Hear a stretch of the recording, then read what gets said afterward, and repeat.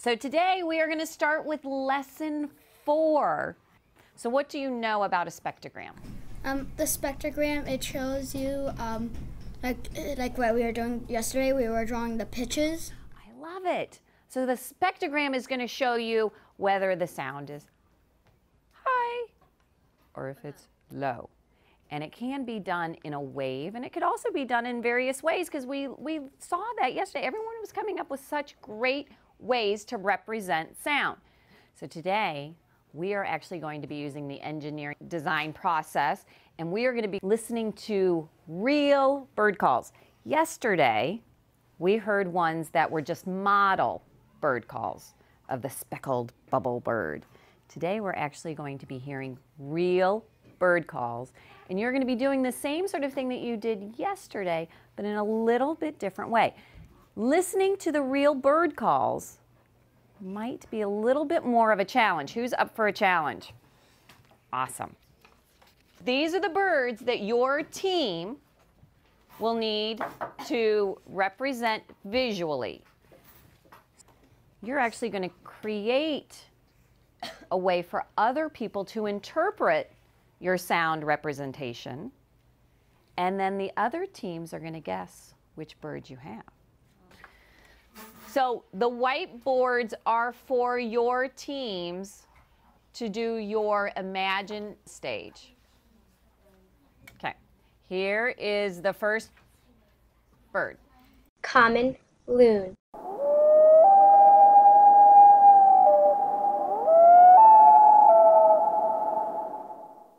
Eastern wood pewee.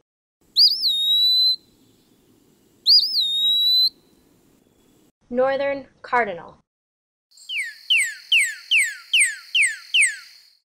Blue jay.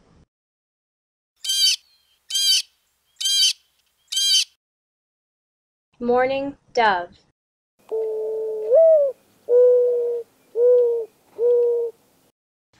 I'm going to give you, oh, about another five minutes or so to be with your teams, to discuss, to plan, to imagine before we start to create. We'll use the swirly pasta for um, what? No, yellow's high.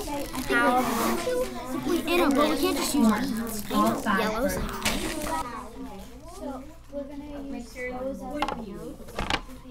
If your team thinks they have a solid plan and are ready to move on to create, you can raise your hand at any time and I'll pass out your materials. Does your team have a solid plan and are in agreement? Whoops. You need to think in your mind how you are going to make these representations. So you need to think about the materials that you have and how you will use them to best describe in a visual way that someone else can understand it. So you need to put that into your mind and imagine it first. On our dry erase boards, someone should keep this there, like their board, whoever wants to do it, or if they, or or if someone like doesn't care. How many parts are there? One, two, three. Four. No, there's two, no, one. No, we have to make three parts. Marcus, make sure. There's four parts, you know. So it's high. Okay, like this. Now it's your turn. Yeah, also in If you want to do the low, and you can do the medium. Who does the medium? I need a piece of tape. Tape that right there. Tape that right there. Don't want to take your fingers. No, I need tape right here. We are going to stop. You're going to put materials down. Wave your fingers at me so I know there's no materials in your hand. And we're going to keep our materials down even if you haven't quite finished yet because some of the teams are going to at least show their visual sound representation. So can this team hold up your visual sound representation? And they use the materials of the yarn and the pasta. So does anyone think they know what bird they were representing? Presley, Blue Jay, Sophia, Common Loon. Yes.